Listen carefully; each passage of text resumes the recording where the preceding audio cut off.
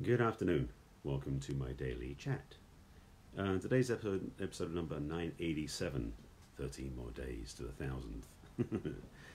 Still got an idea what I'm going to talk about then, but I'll find something, I'm sure.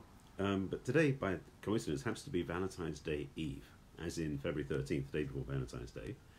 So, my question to you, and the question I'm going to talk, or they should say the topic I'm going to dive into, is how are you loving and do you have plans? And the plans are going to be much more, well, we'll see. I'm not going to get ahead of myself because I don't have a script or a plan or any intention of what I'm going to say. This is the way it works with these talks. If you haven't seen my broadcasts before, I do these every day and I'll give you information at the back end about how you can find the replays and also you can join me live every day. I'm probably going to drop some links in the comments. That's the way it normally happens, and I'll let you know what they are once I get to them. But I want to start with basically saying um, Happy pre Valentine's Day. Now, this is going to trigger people in different ways. Hi, Daniel. Hi, Courtney. Nice to see you both in my broadcast. Um, for some people, this is the most challenging time of year. Now, let me oh, let me excuse one thing. If today, if February fourteenth is your wedding anniversary or your birthday, ignore what I'm about to say, because I'm speaking to those people mostly who, excuse me, have had challenges around Valentine's Day. Maybe a past relationship was traumatic around Valentine's Day. Maybe you're single right now, and in fact, right now I'm going to talk to the single people. I did a talk yesterday specifically about single stuff, and I want to talk about that again today because so many people are single and Valentine's Day is the antithesis of being single. I should say, being single is the antithesis of being in, in, on Valentine's Day. Something like that. The thing is, is that Valentine's Day is an extremely commercial event. Um, people call it, call it a hallmark holiday for a good reason, which is basically that. Um, I'm catching my there. Okay, is that a lot of people are very caught up in the idea about how you've got to be romantic on Valentine's Day. Now, let, let me start with one thing, one of many things if you're saving up all your romantic gestures for your partner for one day a year, you're doing it wrong. You're doing relationship wrong. To be blunt, to be simple, to be uh, uh, um, succinct about this, romance should be a daily practice, not a once a year practice. Clear? Okay. Okay, back on track. So being single on Valentine's Day can feel like a bit of a challenge because everyone seems to be out there in couples. Well, not so true. I've actually been reading some interesting articles the last few days. They've been provoking some thoughts in me, and also some things I want to pass along to you, especially if you're single, so you take Valentine's Day as a joyful experience versus a painful experience. As a choice, by the way.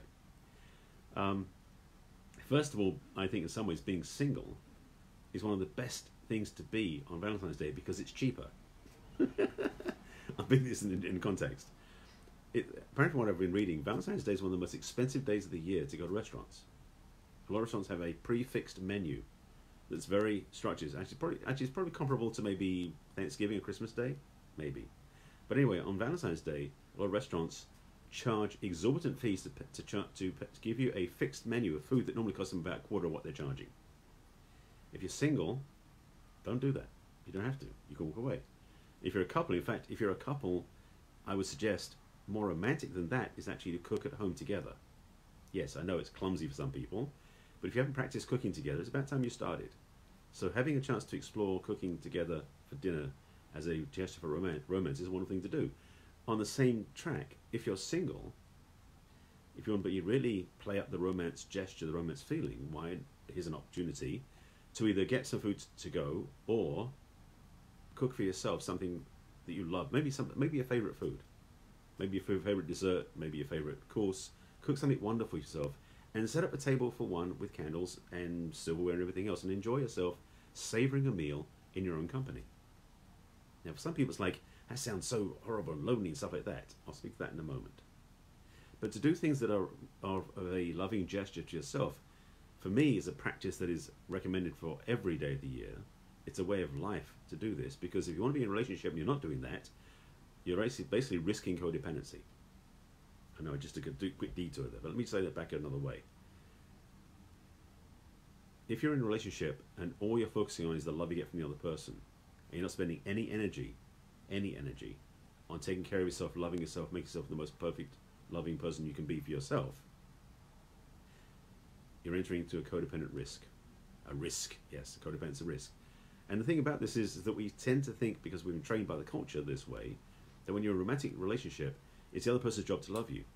And then it's also your job to love them. But there's no about loving ourselves. Courtney would say, you, you cook at home together for the last few years, something fun and unique, like crab's legs using fancy china plates.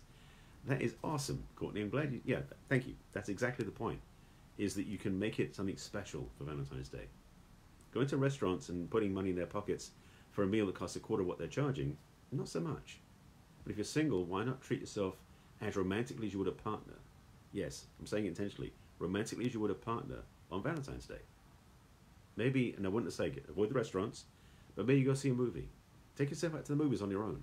I've been doing that for a long time, being single. I've always, I've enjoyed going to see movies on my own because, for one thing, I'm going to listen to somebody talking in my ear during the movie. I can enjoy it myself. Okay, let's leave that one alone. There's, there's, a, there's a little bit of complaining going on there, but let me let me back up. So when when you go out Valentine's Day for yourself and you're single, there are a lot of places I've been about recently. Apparently, there's a lot of places like brew pubs and places like that, which are really fun places because when you go there, most of the people there are single. So actually, it's a good time to go check out who's out there if you want to do that sort of dating um, process. Although I, I have recommendations of another choice about how you go dating instead of doing the bar scene. But what I'm saying is, though, when you go to these um, bar um, bars and restaurant type places, not bars and restaurants, bars and brewery type places, there's lots of times where it's all just singles. Because most couples don't go to brew pubs, they go to restaurants. See? Got to think, use your noggin. Think about places that couples don't go to. They're going to go to the theatre, that'll be a mix of singles and couples. But the thing about it when you're in the theatre, that the lights are down, you have to worry about them um, distracting you from enjoying the movie. So there's lots of things you can do on Valentine's Day that are self-supportive. Now, I have a, I had a, um, I had an ebook that I had called Adventures in Romance, which is about 150 different ideas for how to be romantic with another person. Most of those you can do on your own. Most, I'm just double checking. Most of those you can do on your own. So that's something. If you want that, I can send it to you as well. It's a, it's some of it's when you are in a relationship. Recommend if you have a, if you are in, in partnership. You have this this little um, list of things you can do because it can be fun to play with. But some of the things in there, a lot of things in there, in fact, you can do on your own as well for Valentine's Day. Like, for example, um, take yourself for a picnic. Go out for the daytime. I mean, if you have the chance to go out daytime, is, is pack yourself a little picnic. Maybe a sandwich, a nice bottle of Perrier, something like that, and go to the beach or to the park and just sit down and enjoy life. Nobody else around. The thing about being single, it's not a detriment or an insult on Valentine's Day which is why I'm doing this talk. I've been talking about it for the most of the week about the marketing presumption of Valentine's Day making people who are single feel somehow left out. Now, I experienced this myself many years ago, watching people in couples doing things. Nowadays, because I don't watch TV, it doesn't bother me so much. But the recognition is that the marketing hype is out there to get people to buy stuff. Now, if you're a couple, as Courtney said, about cooking at home together with something nice, I mean, frankly, if you're doing something like crab's legs, that's not a cheap dish, but it's a lot cheaper than the restaurants charge. So why not? If you're single, again, cook yourself a nice meal at home. Maybe go out somewhere where you want to enjoy being on your own in the world. Maybe it's to walk on the beach, or to go to the park, pack a picnic, go for a bike ride. Do things that you can actually enjoy being with yourself. And this weekend, by the way, because since Valentine's Day is a Friday, some people are going to probably plan to have a Valentine's weekend. That's their choice but you can definitely enjoy your own company. And I've been talking about this quite a while now about being on your own and enjoying being on your own as a single person. As I recap from the earlier on, when you love yourself first, rather than seek a love outside yourself, you're in a much healthier place. One, to love who you are and to recognize who you are and, and, and honor who you are, and be more attractive for a future relationship. One of the best kept secrets, if it is such a thing, is that the best way to be the best way, best way to attract a relationship is to not need one. And the way you don't need one is when you love yourself first. Is that making sense? So self love as a primary practice that I keep talking about. That's why I have the self love meditation. I'll put a link in the comments. You can check it out for yourself.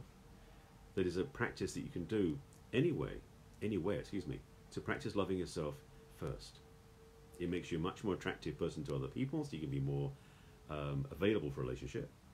But also, you don't need one because you don't need to be loved by somebody else to feel okay the paradigm we come out of, that we've grown out of, I hope we're growing out of, is that somehow being in a relationship makes us better than being single.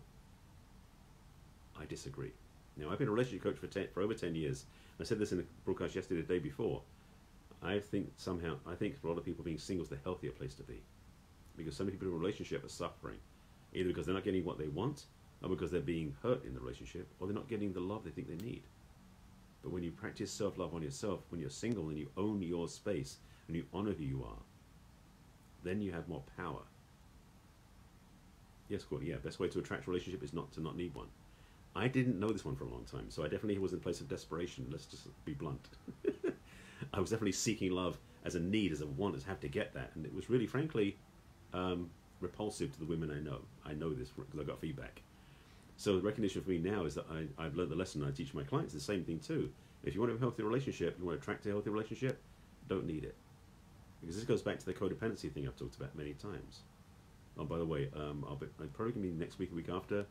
A friend of mine is going to be doing a TV interview with me. We're going to doing a series on codependency, how to break the cycle. So stay tuned for that. I'm adamant about codependency being a trap. I've watched it happen to so many people. I've been in it myself. I don't do it anymore. At least I believe I don't. I've been single for a while, so we'll see what happens when I get into a new relationship. But my point about this is that is is the focus that self-love, honoring yourself, respecting yourself, taking care of yourself, all the self-invested energy is the healthiest way to live life. Is the healthiest way to be in a relationship. It's also the healthiest way to attract a relationship. And the good thing about that is, when you love yourself and you take care of yourself, you don't need anybody else to do that for you. So you can actually do it now. Now, I do have, I said, a guided self-love meditation, which I can recommend you buy and you download and use, but you don't even need that. I know I'm shooting myself in the foot for sales, but the thing is, you can do things for yourself. It doesn't, have, doesn't necessarily have to be like a commitment to go to the gym or the yoga class five days a week, although that's a good thing to do. It could simply be that you make sure you get six, seven, eight hours of sleep minimum. Maybe it's that you practice gratitude, which I do every day as well. I keep gratitude jar to keep track of those things. Not to, well, excuse me, not to keep track, but to remind myself that what's good is, is worth enjoying. There are so many things you can do that take care of yourself, to appreciate and love yourself. It could be just dressing up nice each day, even if you're not going out. Is to look in the mirror and like, I like what I see.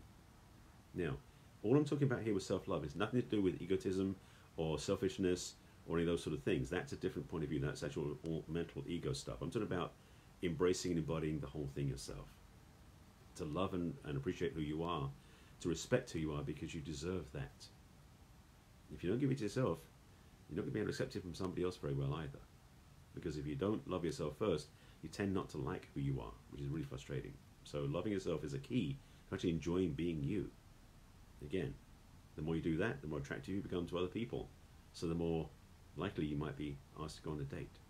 Now, I guess you could say if you don't want to go on a date, don't do this. but I would say no, do it anyway. Just because somebody asks you doesn't mean you have to say yes, by the way. But it does require you taking care of yourself. Am, am I, to make sure I circle that one around, because there's lots of pieces I'm giving you here. So again, the reminder is that Valentine's Day, for a single person, I think is a good day. I was actually sort of somebody, I was posting somebody's wall about this comment earlier today about what do you think of Valentine's Day. I said it's a great day to celebrate being single. Because I believe it is.